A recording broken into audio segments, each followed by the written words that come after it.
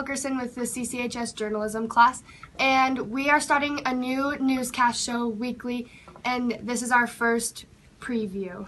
Hope you enjoy.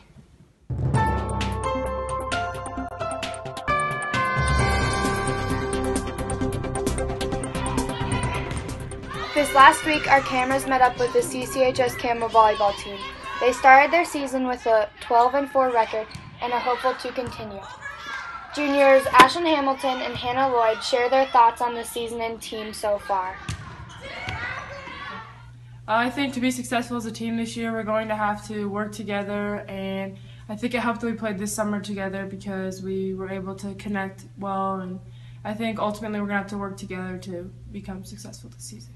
Um, I think we're going to have a good season because we won Cokeville, which we've never done before. And I think in order for us to have a good season, we all need to be disciplined and play as a team. We also talked to senior Abby Moorkirky, a three time varsity player. She shared her thoughts on how she thought the team was doing this season also. Uh, I feel good about this season because we have some veterans coming back, and since we played together this summer, we have some sort of chemistry, and like we know how to run things, and we know how to be successful. Moorkirky also talked about their on-again, off-again rivalry with Cheyenne East Thunderbirds. We've been butting heads since this summer, and it's like an on and off thing. Like we win some, they win some, and then it goes back and forth.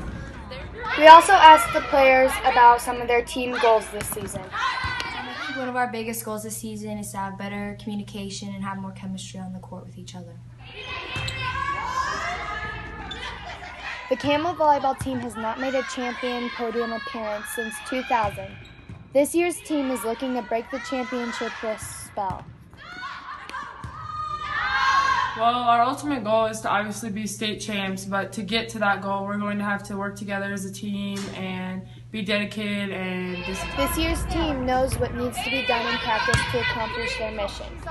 The next home match is Thursday, October 1st for Rivalry Week against Sheridan. Hope to see you there in support.